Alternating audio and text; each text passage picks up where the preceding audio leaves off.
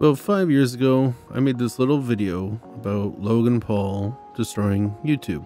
It was all about his controversial video in Japan and basically how it changed the entire landscape of YouTube forever, really affecting small creators like myself.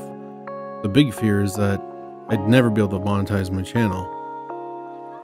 But I am happy to say, finally, after almost five years, my channel is finally monetized.